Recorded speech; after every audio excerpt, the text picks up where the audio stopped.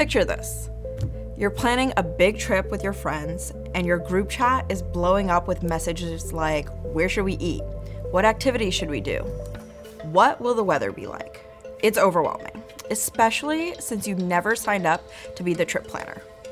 But what if an AI could handle all of that for you, creating a beautiful itinerary complete with activities, dining recommendations, and even a weather forecast that tells you exactly what to pack? Today, I'll show you how to build your own AI powered trip planner agent. Let's get started. In this video, we'll run an AI-powered agent that helps you plan your trip itinerary and outputs it into Notion. It uses the Yelp API to get activity and dining recommendations for a specific city, the Weather API to get your weekly weather forecast, and Notion to display your itinerary in a readable, shareable format. To run this agent yourself, you'll need a Yelp API key and Notion API credentials. If you're new to these products or APIs, be sure to check out their documentation to get set up with API keys and authentication. And for full end-to-end -end configuration instructions, click on the link in the description. Once you have your API keys, head over to the Flows tab in Postman and find your trip planner template. This template contains a Flows action with an AI agent block and several modules that act as tools to provide context to your agent. Clone this action on your own workspace so you can explore and customize it. Inside, you'll see six modules and the actual agent. Let's explore these modules. The Yelp module gets activity and dining options based on your search term and the city.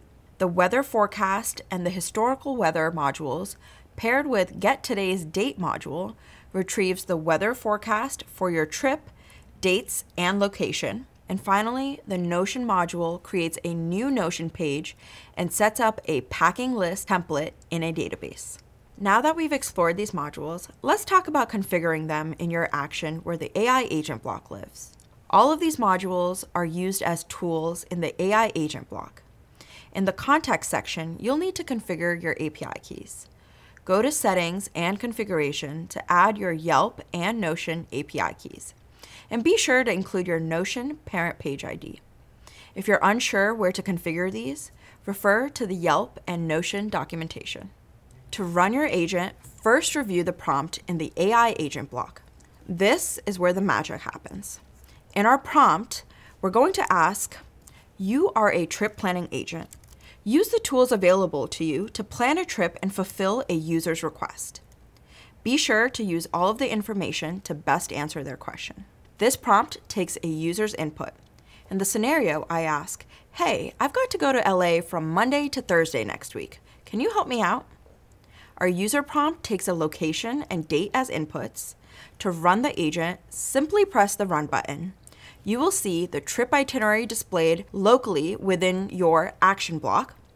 And if you head over to Notion, you'll see that a Notion page has been created with a database for all of the days in my case, Monday to Thursday, including an itinerary for activities, dining, weather, and even a packing list. You can customize this agent even further by connecting it to other APIs. For example, you can deploy this agent and use the action URL as a webhook in Slack or in Twilio to trigger the agent from a messaging application and get the itinerary shared in a group chat. Congratulations on deploying the Trip Planner agent. As the Type B friend in all of my group trips, this agent has been a total game changer. If you're also a Type B planner like me and want to explore more AI agent templates, head over to postman.com slash templates. Happy agent building and stay tuned for more tutorials on how to harness the power of AI agents with Postman.